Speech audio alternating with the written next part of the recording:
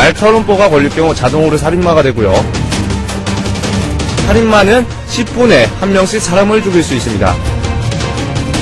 이들 중에 누가 더블 TK인지 모르겠단 말이지. 아니야 나 못 죽인다고 니네들 중에 살인마 있어 니네들 뒤통수 맞는다 그러다가 핑맨이를 한번 미행해볼까? 에리야 죽을 시간이야 지들이 왜 그래? 어? 뭐가 내가 뭐? 왜, 왜? 왜 그래? 어? 뭐야? 야! 갑자기 검은 연기가 슉 오더니 머싸가 죽었어 어떤 새끼인지 몰라도 간땡이가 부었네 그 현무의 피는 제가 가지고 있습니다. 천무의 표 얻었어?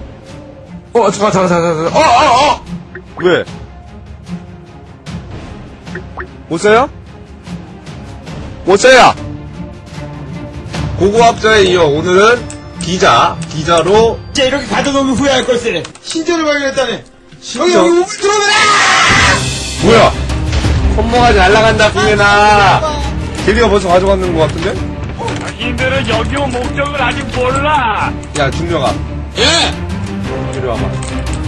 뭐야? 이리 와봐, 이리 와봐, 이리 와봐! 빨리 흩어져, 흩어지라고! 아니 흩어지라고, 지금, 중령아! 잠깐만, 사람이 있어, 안에! 형은 날 쉽게, 쉽게 내버려 두지 않아! 이야! 이야! 없어. 나 레알 안 가져갔어! 안 가져갔다고! 야, 근데 잠깐만. 우리 방금 팠잖아. 예. 우리 밖에 들어온 사람이 없잖아.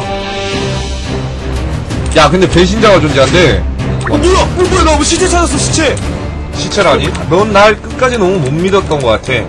너 때문에 여포가 죽였다. 야, 막아, 문! 문을 막으라고! 문 막아! 분명아, 이상한 사람 있어. 걔네 총하고 칼 들고, 있- 나 쏘는데? 야, 나 쏘는데? 야, 게리야. 근데 너 오늘 왜 이렇게 살인자인 척해? 자들을 죽였는데 메시지가 떴어요. 메시지? 죽은 자들을 의심하라.